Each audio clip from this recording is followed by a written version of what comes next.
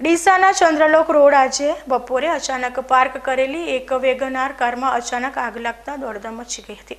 જો કે ગાડીમાં કોઈના હોવાને લીધે જાનહાનિ ટળી હતી અને આસપાસમાંથી દોડી આવેલા લોકોએ પાણીનો મારો ચલાવી આગ બુઝાવી હતી. આ બનાવને પગલે ગાડીને મોટું નુકસાન થયું છે. છેલ્લા ઘણા સમયથી વિવિધ ગાડીઓ અને ખાસ કરીને સીએનજી કીટવાળી ગાડીઓમાં અચાનક આગ લાગવાની ઘટનાઓમાં વધારો થઈ રહ્યો છે. ત્યારે ડીસા શહેરના ચંદ્રલોક રોડ પર પણ આજે બપોરના સમયે રોડની સાઈડમાં પાર્ક કરવામાં આવેલી એક વેગનર કારમાં અચાનક આગ લાગતા અફરાતફરીનો માહોલ મચી ગયો હતો. જોકે આસપાસમાંથી દોડી આવેલા લોકોએ પાણીનો મારો ચલાવી આગ પર કાબુ મેળવ્યો હતો. આગમાં કોઈ જ બેઠેલું ન હોવાના લીધે સદનસીબે કોઈ જાનહાનિ થઈ ન હતી. આ ઘટના બપોરના સમયે બની હતી, જેથી તે સમય દરમિયાન આ સ્થળ પર લોકોની અવરજવર ખૂબ જ ઓછી હોવાના લીધે કોઈ મોટી હોનારત સર્જાઈ નથી.